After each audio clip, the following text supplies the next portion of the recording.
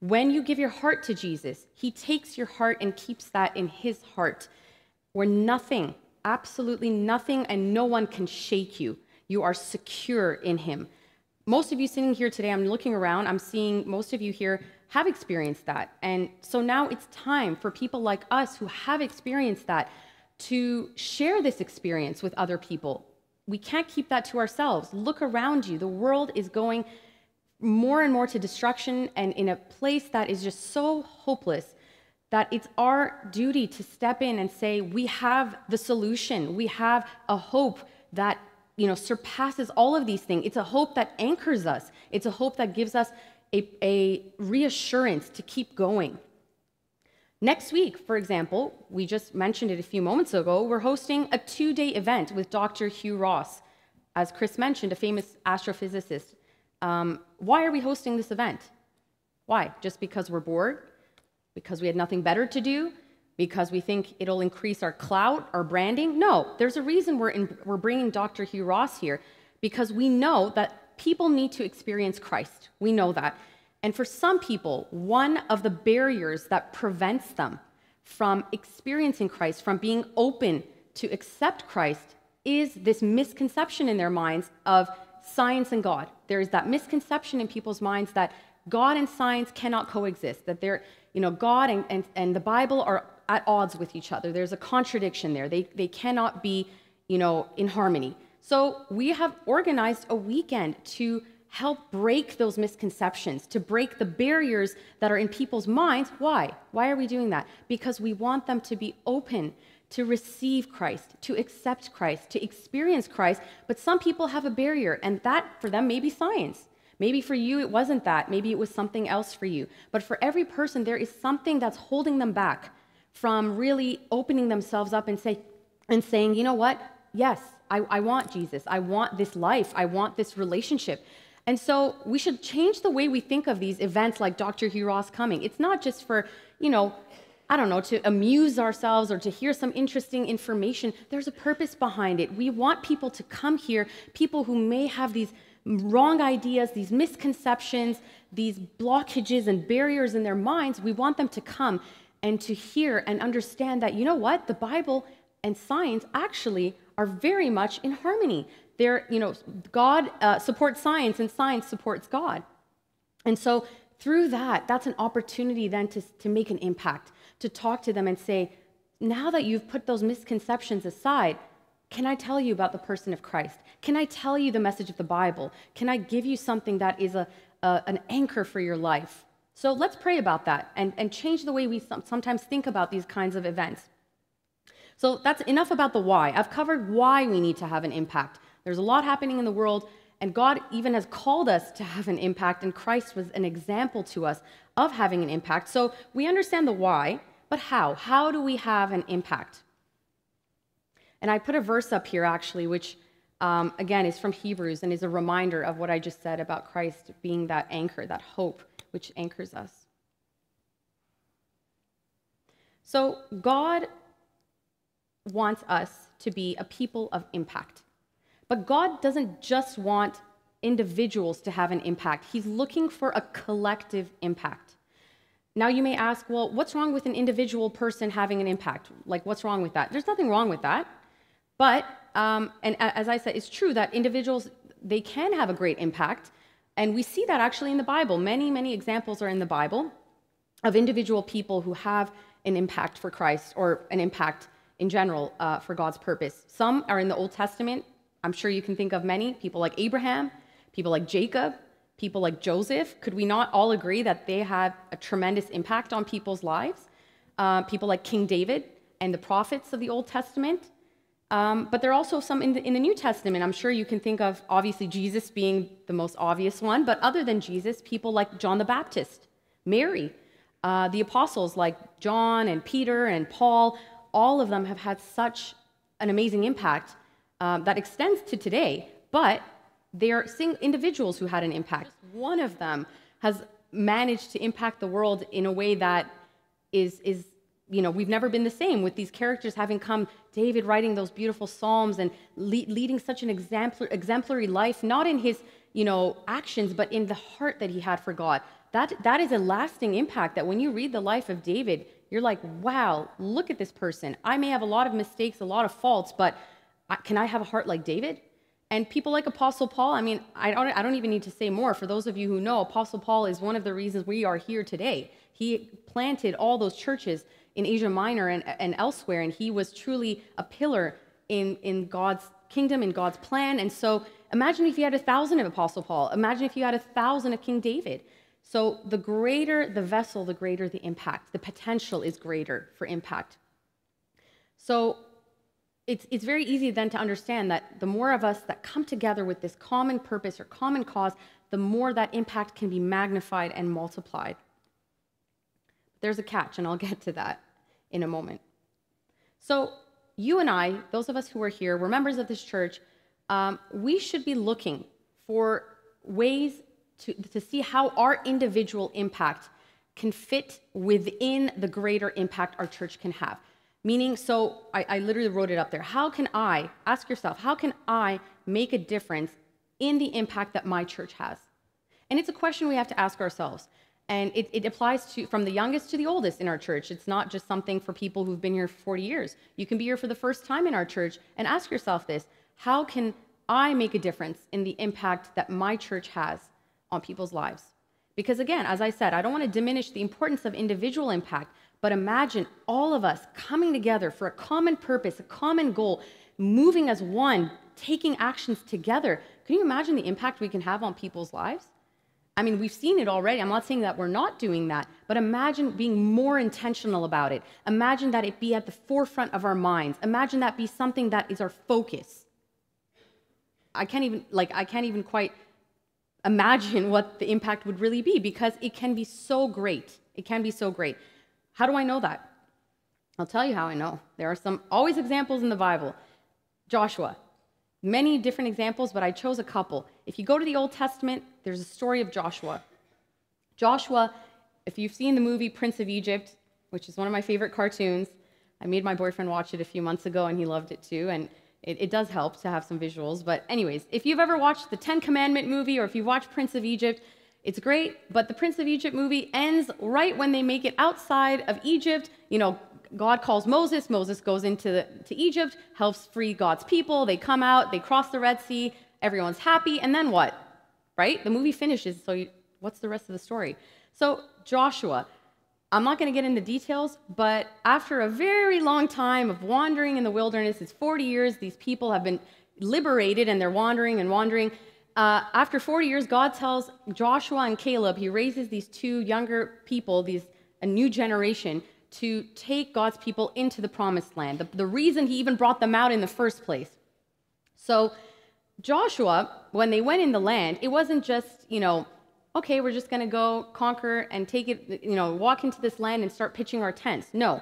They, they went in, they scoped the land, and they saw that there were a lot of enemy nations there, a lot of uh, nations and groups of people that were at, you know, that were antagonistic, that they were not, uh, you know, going to be so happy about God's people moving into that land. So what happens? One of the examples we read is the story of Jericho, and it's, it's a very common story, and a lot of people know it. But to kind of summarize, Joshua is leading all these people, and they come to this walled fortress, this city called Jericho. And basically these walls at that time i don't know how tall they were but you can imagine it's not very easy to penetrate and to conquer a city that is walled. Usually that at that time if you had a walled city that was their source of protection and security. So what god tells them is go around the walls of jericho not just joshua. He doesn't tell okay joshua you just go walk around and then all the walls will come down. No. All the people women and children and everything they had. They marched around the walls of Jericho seven times, and that was the cause of Jericho. Like, again, I'm not going to get into all the details, but Jericho collapsed after those seven days, those seven times that they went around that, that walled city. God gave them victory over that city. But why did he give them victory? It wasn't just because Joshua went around, it was the, all the people of God going around Jericho. So there was a collective impact. There was a group of people having a common purpose, a common goal, saying, okay, we're coming to take over the land, we're coming to conquer the land. God's going to give us the victory, but we still got to do something here. And so, together, united, they went around, around, around, and finally, the walls came down. That's an Old Testament example. What about a New Testament example? Pentecost. Pentecost. That one is a very, very clear example, again, of the, of the, uh, the magnification i don't know if that's a word the, how impact can be magnified and multiplied when you have a group. So on the day of pentecost for those of you who don't know this is the day that really the church was born and 120 people were in an upper room together. Uh, peter and the other disciples or apostles they were all there together and um, it says in the bible that they were of one mind and one heart there was such a unity there among the people 120 of them such a unity that in that unity, because of that unity and coming together, agreeing together, the Holy Spirit came upon them and they were filled with the Holy Spirit, but it didn't end there. They didn't just have that moment, you know, happy time, yay, Holy Spirit. Then they went out. They went out of the upper room, they went onto the streets, and they started to preach the gospel. They started to tell people the message of Christ about the good news of salvation that Christ can give us. And that same day, if I'm not mistaken, like what, 3,000 people came to believe in that one day? And you have to understand, uh, it's not like today where you can post something on TikTok and it can go viral in two seconds, or on your Instagram or on Facebook, where it's so easy to have an impact in two seconds. 3,000 people at that time, that's a big impact for people who were only sharing things by word of mouth. Okay, there was no no megaphone, there was no stage, there was no microphones, there was people interacting with people. And so in one day, 3,000 people came to believe because of 120. So we can clearly see that when a people come together in that unity and agreement for a common cause or purpose, the impact can be so great. And that's what God is after. He wants a collective impact. He didn't just say, okay, Peter, stay in a room. I'm going to you know, the Holy Spirit's going to come upon you. You are going to get filled with the Holy Spirit, and then you alone are going to go out onto the streets and start preaching the gospel. No, he didn't say that to just Peter or to just John or one of the other apostles. He said that to all of them to be in that upper room together. And that's where we see how important collective impact is. So, those are just two examples I brought. And I put on screen here, you know, because of those 120, you and I are here today, actually, because 120 back then went out and started telling everyone and started preaching the gospel. They started telling the good news of Christ.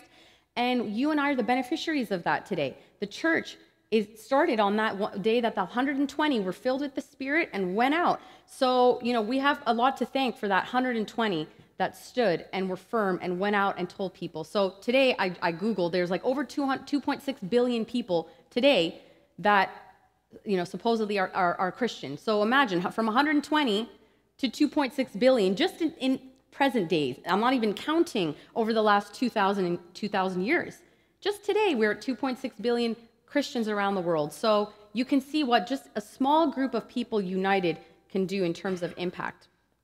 So, as you see from those examples, collective action leads to collective impact. And it's so important that we talk about this as a church because it really applies to all of us.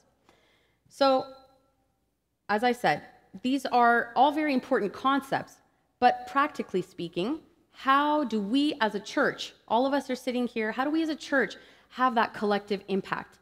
What are the steps or necessary requirements that must be in place in order to have a collective impact? I kind of alluded to some when I was just giving those examples, but I want to break them down for you. What are some of the necessary steps or requirements in order for us as a church to have a collective impact.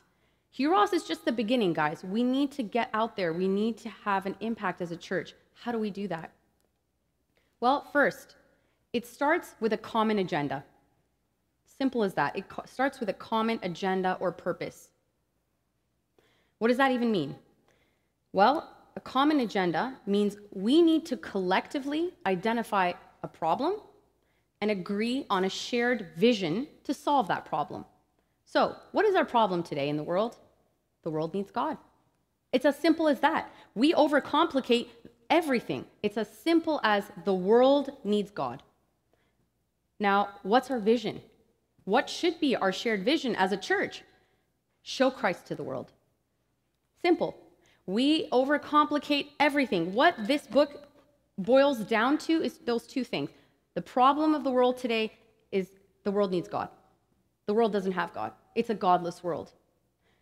What should we as a church, what should our vision be? Show Christ to the world. And I put here a verse, it's from 1 Timothy uh, 2 5 that says, There is only one God, and there is only one way that people can reach God. That way is through Jesus Christ. Very simple. So we have to agree as a church. This is our common agenda, our common purpose, our common vision. We want to show Christ to the world, starting from our own families, our own friends, our own you know, communities, colleagues, whoever they may be, the people we touch and interact every single day. We need to show Christ to these people because the world needs God. Right? Can we all agree with that? To back it all up, I'm going to I'm going to make sure I have some verses here. Lest you think I'm just saying it, it's in the word. It's in the word. Uh, so here's some verses. The first one, 1 Corinthians 1:10 says, "Brothers and sisters, by the authority of our Lord Jesus Christ, I beg all of you to agree with each other. You should not be divided into different groups. Be completely joined together again with the same kind of thinking and the same purpose. Get on the same page. That's what he's saying. We need to be united. We need to be on the same page around that common vision, that common agenda. We want to show Christ to the world. We want to express Christ to the world. We want to preach the truth that is in the Bible so that people can experience Christ. People need to experience Christ. And so we have to be all on the same page about that. We can't be divided about that vision. It needs to be something we all say yes. It's a common agenda that we all share. Next verse, Philippians. Actually, Chris brought this one to my attention. Another great verse. Now, the important thing is that your way of life should be as the gospel of Christ requires, so that whether or not I am able to go and see you, this is Paul talking, I will hear that you are standing firm with one common purpose, and that with only one desire you are fighting together for the faith of the gospel. Beautiful. I mean, you can just unpack this verse into so many parts, but the part I, I bolded there standing firm with one common purpose. This is Apostle Paul saying that. I'm not, I'm not saying that. It's Apostle Paul saying, as a church, he's writing to the, to the believers, the Christians in, in, in Philippi, the Philippian believers. He was saying, you got to have a common purpose that you stand firm on together. We have moved to this new location. We are talking about different plans, different this and this and this. Before we even make plans, before we even do this and that, we have to come united together uh, with a common vision, a common agenda. We can't be on different pages as a church. And that can easily happen. I'll get to that. So, number two, what's our second requirement? Second requirement for a church or a group of people to have an impact for Christ is we must establish a shared measurement. What does that mean? A shared measurement. Meaning that once we agree on a common agenda, we have to agree on a way of measuring our progress toward that goal. How do we do that? Simple. How do we do that? How do we have a shared measurement? We have to have a shared measurement. Um, our shared measurement is Christ, actually. Christ is the indication of our progress. The more we become like Christ, the closer we are to our goal. How does that serve our common goal or agenda? the more we become like Christ, the more we are showing Christ to the world. It's as simple as that. The more I become like Christ, the more I am displaying his characteristics, the more I have developed his character in, in me, the more I am transformed to be like Christ, the more I'm showing him to the world. Because when they interact with me, they're interacting with Christ, right? This is our shared measurement. It should be our shared measurement as a church where we all agree and we say, okay, how do we measure, you know, whether we are making progress towards that goal. It's as simple as all of us agreeing that our shared measure is going to be Christ. We are having that as our standard. We want to all have Christ, uh, you know, reflected in and through us, expressed in and through us, and by that happening, that's where people are exposed to Christ. That's where people come in contact with the person of Christ. So this has to be our shared measurement. And our church talks a lot about, the, about this concept, whether we use the word conformity, transformation, you know, image and likeness. These are words that all come to mean one thing. We need to agree we, that we have a shared measurement of what is our progress. Our progress is Christ. Christ is that measure that we want to reach and attain. And by reaching that, that's how we know we are progressively exposing people to Christ more and more. We're showing who he is to the people around us. I hope that's clear, but I've, I've put a verse here that um, kind of speaks to that from Ephesians. Again, Apostle Paul is writing to believers in, in Ephesians saying, And he gave the apostles and prophets and evangelists and shepherds and teachers to equip the saints for the work of ministry, for building up of the body of Christ, until we all attain to the unity of the faith and of the knowledge of the Son of God, to make uh, to mature manhood to the measure of the stature of the fullness of Christ. That is what we want. We want to reach that measure, that fullness of Christ. All that Christ is in his humanity, as a human, all his characteristics, we want those to be our characteristics. We want those to be working in us and through us so that when people come in contact with us, they're not just coming in contact with Stephanie. They may see me, but the person interacting with them through me is Christ because his characteristics are coming out his love, his compassion, his grace, right? So this is our shared measurement, or it should be. Number three, the third requirement is that there must be conditions. Sorry. Third requirement is that there must be conditions or an environment in, in place for different but coordinated activities. This is very important. This is very, very important. Different but coordinated activities. What does that mean? It means we all have different functions in the, in the collective, but these different functions have to all be coordinated, meaning that they all have to work toward our common goal. All have to work toward our common goal. I'll give you an example our Sunday services, right? So, if our goal in having these Sunday services, um, like the one you know, today is for people to come and experience God. That, that's what we want, right? This is an environment we're coming here together for people to experience God. And if that's our goal, we want them to experience His love, hear about His, his truth through His word, you know, hear about His plan and purpose for their lives, to, to hear the message of hope. That's, that's our goal. We want people to experience all of that. So there's a lot that has to go into making that possible, right? So we have an ushering team. They come, they open the doors, they have to, you know, turn lights on, they have to get things ready and set up. You know, then our audiovisual and media team comes, they set things up. The fact that you can hear me today is because somebody has set up a microphone. Somebody has set up the audiovisual system here so that you can hear me clearly, that you could hear the worship team that was singing and playing. The worship team as I mentioned, they, they lead us in songs. These songs are not just for us to mechanically sing, they're, they're creating an environment for impact to happen, for people to hear the words and be touched, to see, wow, how much God loves me. Wow, God's grace is so, you know, uh, powerful that it's, it's, it's the reason that I can run to God now and say, I'm sorry, but you've accepted me and you've forgiven me. Like all of those can come through in a song.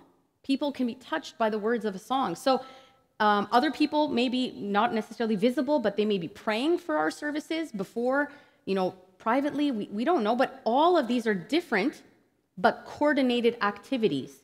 And I'm speaking, this is very practical. What I'm just sharing right now is very practical church life examples that I'm giving you of what does it mean to have different functions, but all of them work towards the same goal, the same common purpose. Our purpose in Sunday services is for people to experience Christ, people to experience his love, people to hear the message of the gospel, right? But I may be doing one part, others are doing their part, but we all have a we're coordinated towards that goal. We're all saying we have that common purpose. We are going to do everything towards that purpose. And so we're all doing different functions. And last week, if you were here, Adrian brought up some very nice verses about uh, that Apostle Paul uses to describe the body. He uses the human body as an example. And I will too where we have a body, you're seeing one entity, you're seeing one unit, but I have many parts. The body has many parts. We have the lungs, we have the heart, we have the brain, we have, you know, fingers and, and toes and all that. Each one of those parts of me have a different function. My heart is not doing the same thing as my mind. My fingers don't do the same thing as my knees. Every single part does its own thing, but it's all coordinated. It's all coordinated with one common goal. Our bodies keep us alive, right? The goal is for this person to stay alive. The, the blood has to flow through the body, right? Everything has, every organ, every cell in your body is working to keep you alive and functioning. So the same has to apply in the body of Christ. Within the church, we all have to find, first of all, discover our function, discover where we fit. What is my part? What is my part that I bring to the big picture, to the collective?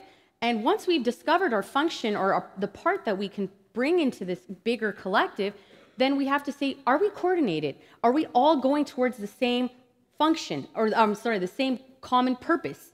So it is something we have to ask ourselves because a lot of churches could be doing a lot of different things, but is it all serving the common goal?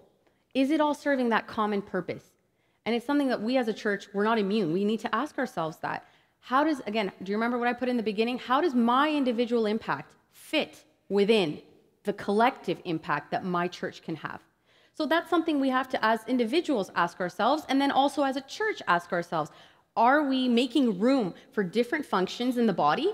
And if we have these different functions, are they serving that common goal that we have that we want every person to experience the person of Christ, to come to experience his salvation and the hope that I talked about? So, again, we don't all have to do the same thing, but we do need to work together. Another verse.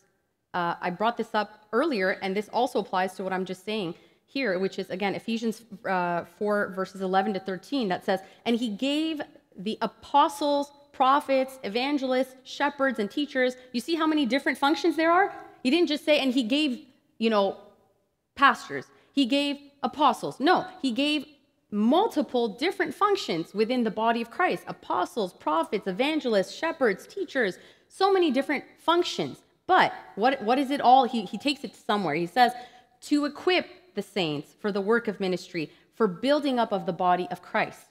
So all of those different functions have to serve the common purpose, have to have a, a common agenda, right? It's not just that we all have a different function.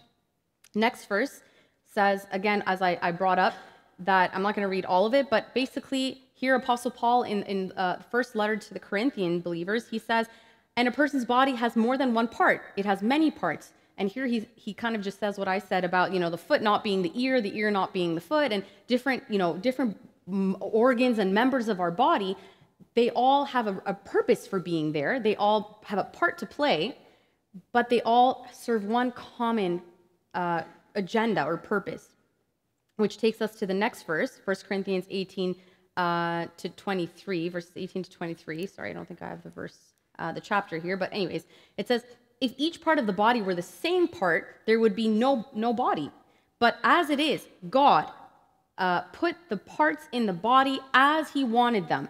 He made a place for each one. That's such a beautiful verse. It says God intentionally made a place for each one. So each of us being here, we have a place that God has made for us in that body. He has intentionally done this. It's not by accident, haphazardly, oh, my place was just, it just happened to be there. No, he has intentionally made a place for each of us to bring our parts into this collective.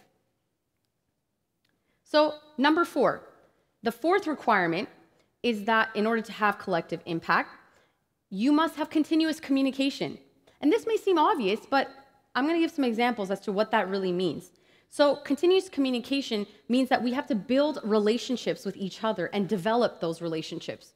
We cannot have a collective impact with, uh, without continuous communication. We can't, because continuous communication builds trust, builds accountability, it strengthens our unity. Um, but you may say, okay, well, how do we have this continuous communication? What does that really mean, practically speaking? Showing up to church is one way we have a continuous communication. Sorry, let's go back to the previous one. Uh, one of the ways that we do that is, is showing up to church, getting plugged into ministries. That's another way we keep that dialogue, that communication, and the unity strong between uh, one another. Joining a prayer group. It was announced earlier that we have at least two prayer groups, right? There, are, there could be more. Uh, calling each other during the week, texting each other, whatever, you know, whatever method you prefer, but that's constant communication. Grabbing coffee with a fellow, you know, member of the church. Hit them up, go grab a coffee. Uh, joining a cell group or a growth group. These are just some, some of the ways that you can uh, be in constant communication with other people in the church, with other members of the body.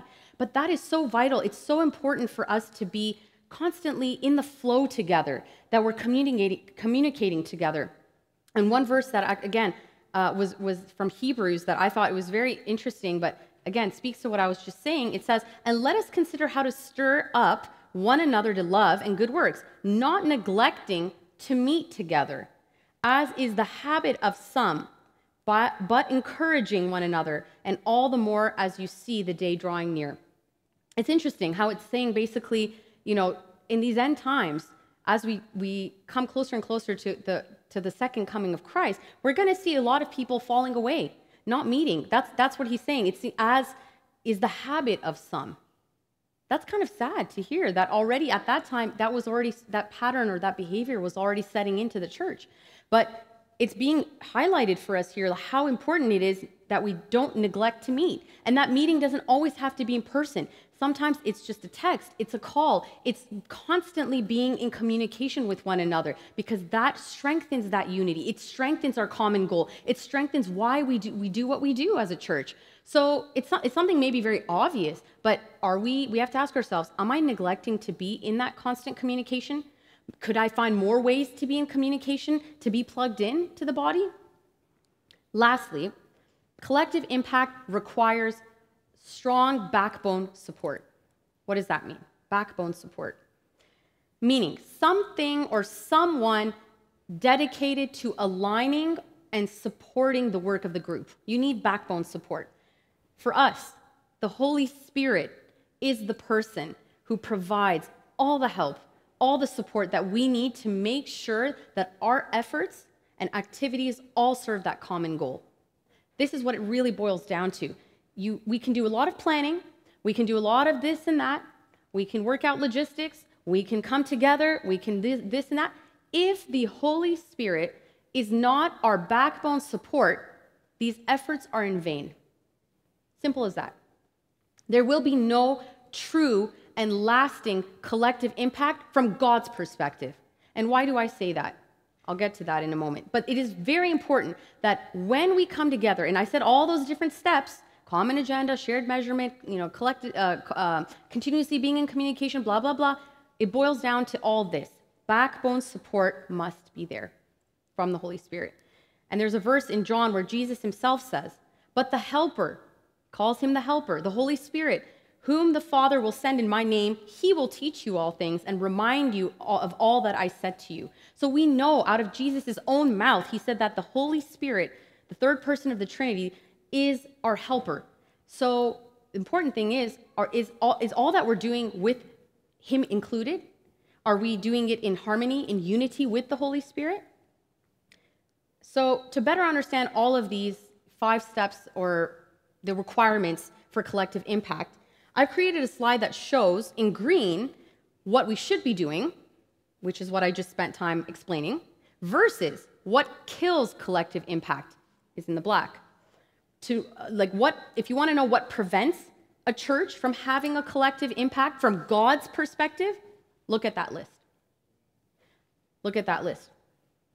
Specialized agendas, fragmented measurements, independent activities, sporadic communication, unsupported efforts. I don't know about you, but I hate to say this, but could we look at that list and, and agree that we see this very much operational in a lot of churches today? And again, I'm not saying this from a place of judgment. Please don't misunderstand me. I'm not here to judge any Christian or any church. But it is a warning even for us.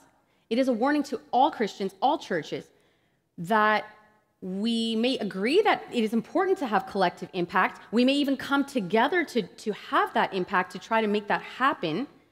But very easily, a lot of different things can happen. We can start having specialized agendas.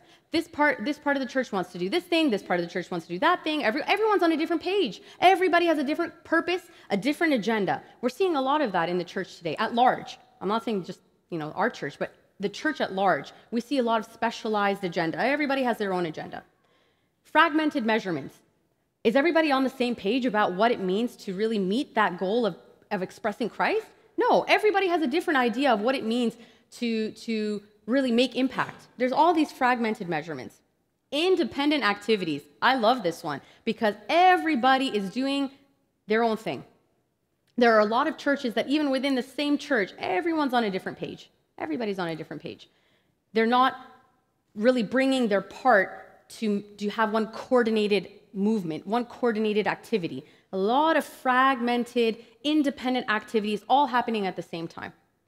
Sporadic communication a lot of sporadic communication, lack of fellowship, lack of that being plugged into that same flow of life, that same you know, communication that is, that is really at the heart of what a church needs to be. It's, it's not only communication with up, you know, vertically between us and God, it's this way too. It's horizontally as well. And lastly, this one really got to me unsupported efforts. I was thinking to myself, could there be churches that have unsupported efforts where the Holy Spirit is not is not their backbone support there is no support or like a, a seal of of you know blessing or seal of approval from the holy spirit. And then i remembered that unfortunately that is very possible that even we read in, in scriptures that it says that you know at, at the time jesus comes there will be people who will tell Jesus, Well, in your name we prophesied, we taught, we did this, we did that. A lot of churches today could say, You know, we led this many crusades in your name, Jesus. We had this many revival meetings in your name, Jesus. We had this many Bible studies in your name, Jesus. We had this many people come to believe. You know, we had this many baptisms, this many this and that, that, that. They'll, they'll come up with a whole list of, of activities, of effort, right? But then what did Jesus say? If those, of you are familiar with that passage, Jesus said, I don't know you. That's scary. So it is possible to be a church and have unsupported efforts where the Holy Spirit is not a partner with you in that collective Im- impact. The Holy Spirit is not, is not giving that seal of approval from the Lord saying, Yes, this is where you need to be, what you need to do. Go forth, go do. And that's scary because a lot of people will come and give their full list of all their accomplishments. I'm, again, I'm not here to judge anyone, but I'm saying we have to be careful as a church because we can fall in the same trap. We can also, we're not immune. There is nothing that we are immune to. So we have to really take a moment to say, Lord, are you fully approving everything we're doing? Are you a partner with us in all our efforts? Are you our backbone support that is helping us to, you know, align everything with God's mind? So we have to ask ourselves because we don't want to be a church of unsupported efforts. I've, I said this at, at the conference and I said this to my family. If I ever get the courage, I want to write a book called The Church of Unsupported Efforts. Because there's a lot of churches that, that are doing a lot, but that doesn't mean that in God's eyes, in God's perspective, they are doing that with the support of the Holy Spirit in line with God's mind, God's will, what God's purpose is. But they're doing. So we have to be careful that we don't do what's on the on on the you know, the, the black bubbles and we do what's in the green. We got to be careful, prayerfully, as we say, Yes, Lord, we are now in a position that we all understand and we agree. We want to have a collective impact as a church. We need to pray and come before the Lord and say, Help us to be a church of supported efforts, a church with the blessing of the Holy Spirit, the, a church where the, the Lord goes before us. The Lord is before us, He's beside us, He is behind us, He is with us all the way, fully supporting us, saying, Yes, go out, go do. So we need to pray about that. Um, now, to wrap up everything that I'm saying, again, it's, it's really important to give examples, I feel. Um, I'm going to show you through a case study uh, how all of these concepts, these are all concepts I just told you, how all of these concepts that I spoke actually apply. How can they actually be operational? Basically, talk is cheap, right? I could be saying all this, but does it actually, uh, you know, can we see that happen in real life? How, what are, how do we see that these requirements or steps uh, work in action? So, Nehemiah, this is the case study that I want to bring to your attention because I think it's a beautiful illustration, really beautiful. So, who is Nehemiah? I'm going to give a little 30 second spiel for those who don't know. Nehemiah was uh, somebody who we read about in, in, the Old Testament. He lived in the Persian Empire um, when the Persian Empire had conquered the Babylonian Empire. So he lived in the Persian Empire and was the cupbearer for the king, or as my dad commonly says, he was the king's personal bartender. Okay? That's what he was. He was the bartender for the king. I can't take credit for that joke. That's not mine. So Nehemiah was part of a, a, minority Jewish population that was living in the Persian Empire at that time. We obviously know he had, you know, a close proximity to the king, um, and so when Nehemiah heard of the destruction uh, or, or, the ruins that Jerusalem was in, Jerusalem was, was the ancestral home of his people. That's where they came from. He was from that land. So when he heard that Jerusalem is lying in ruins, it's a ruined city, rubble everywhere, and it's just desecrated, it broke his heart. It really made him sad. And so, because he was in such close proximity to the king, the king noticed, "Hey, you're down. What's going on? I see your face, and you're not, you know, you're not looking too happy." So Nehemiah tells him, you know, this burden in his heart that his city, his ancestral home, is lying in ruins. And so the king says, "Okay, you've got my blessing. Go out, do what you need to do, get your people, and rebuild the city." Okay.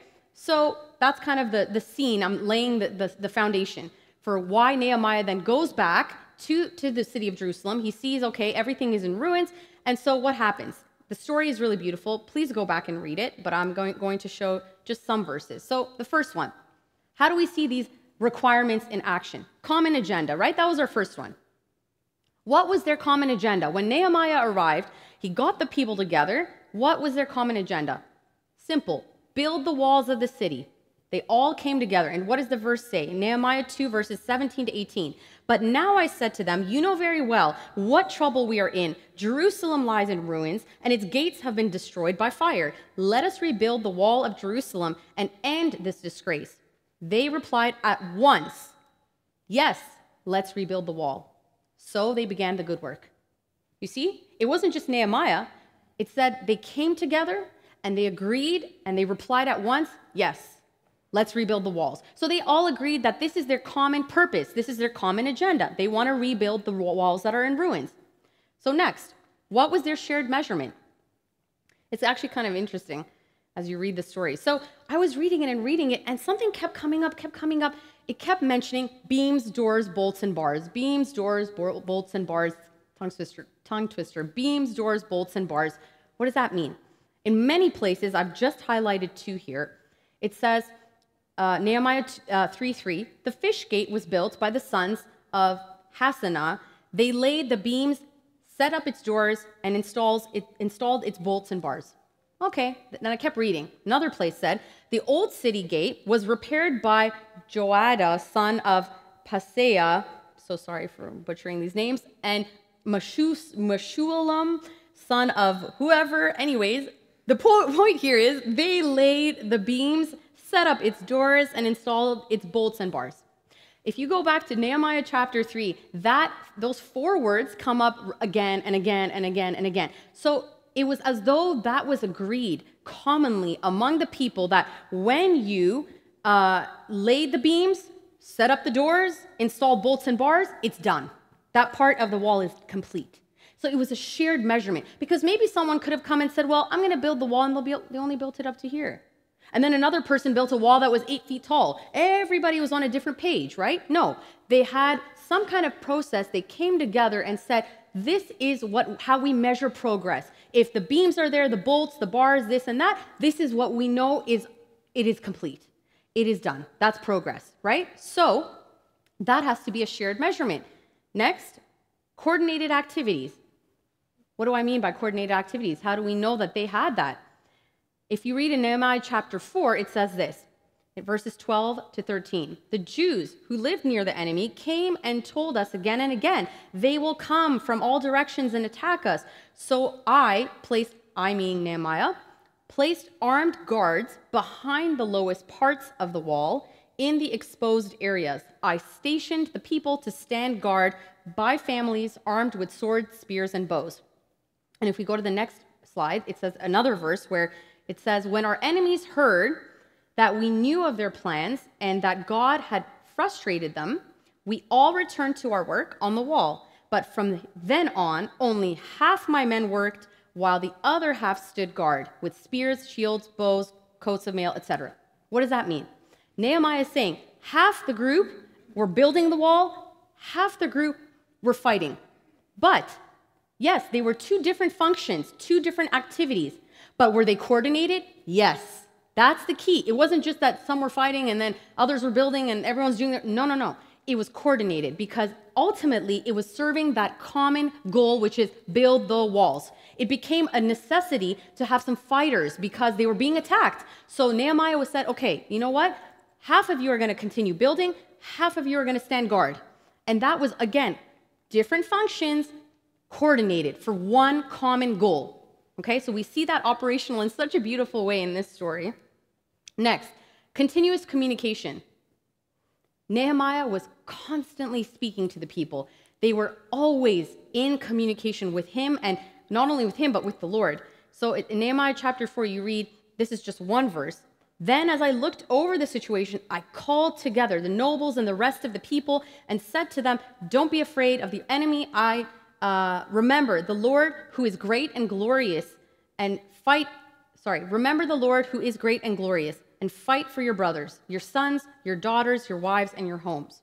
So it says constantly, and Nehemiah called them together, and Nehemiah called them together, and Nehemiah spoke to the people, and Nehemiah. So there was a constant communication between these people. It wasn't just that couple people decided I'm going to build a wall, and then they never talked again, and that's it. Everybody went and did their own thing. No, they were constantly communicating. They were coming together. There were attacks happening, different things. Nehemiah was bringing them back together to talk about things, to communicate with one another, so that they would all continue on the same flow, in the same line with one another towards that common goal.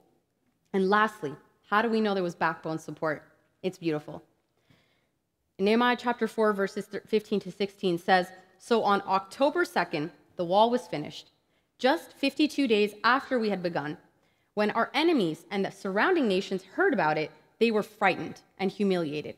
They realized this work had been done with the help of our God. Nehemiah confirms that they had the support of the Lord, that God was with them. As I said, He was before them, He was with them, He was behind them, He was in every part of their activity, uh, all their activities. They had the support of the, of the Lord. And this was confirmed by that verse. And so this is just one example in the Bible that I brought that I said is a really beautiful illustration of all those concepts I said. They all sound nice, but do they actually work? Do they actually have a place in, in, in the church? Can we see them operational? And Nehemiah's story is a classic example of how when people come toward together for a common agenda with a shared measurement, with constant communication, with uh, the backbone support of the Holy Spirit, and uh, with that coordinated activities all together, truly God will give the victory. And we know it said at the very end, it didn't, it didn't just say that they had the help of the Lord, it said that their enemies were frightened. Their enemies were frightened. So not only was the work complete, the walls were built, but it ended up serving that purpose. They built the walls and the enemies were frightened. And so the victory is there when all of these things are in place. But the most important part, as I said, is this backbone support. Was the Lord supporting their efforts? Was the Lord with them through all of that? Was He a partner in all their activities? Yes.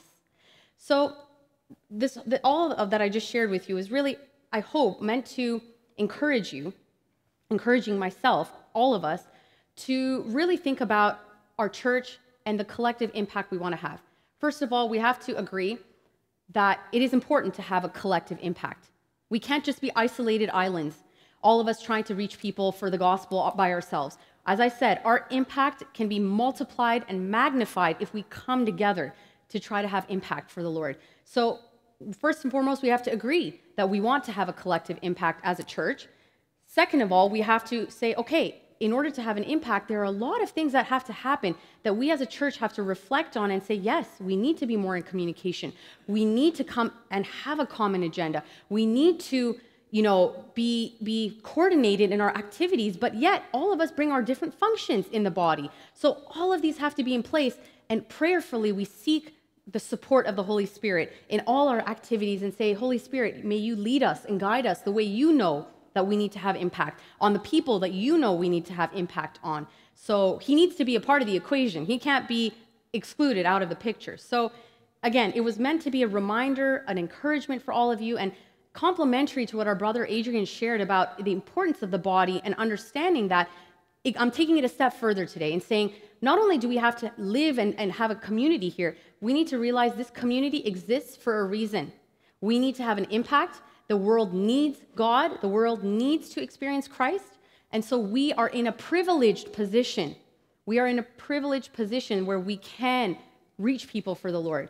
So may that be our focus and prayer. And I, I encourage you and I challenge each of us this week, let our prayer be geared towards this. As I said, next week, the Heroes weekend is just the start of it. But that is, again, um, one of the efforts that we are taking as a church. We're coming together and taking an effort. May it be supported, number one, but may it be the beginning of the impact that we are having in this community, in this city, in the world. May this be our prayer. This week, I challenge all of us let's be on our knees and pray about this. What impact does the Lord want us as a church to have? And how can we all find our role in that, our part? How can we bring our part? And may the Holy Spirit, again, truly be that support along the way. So I, I invite you all to stand up. I want to invite the worship team to come up.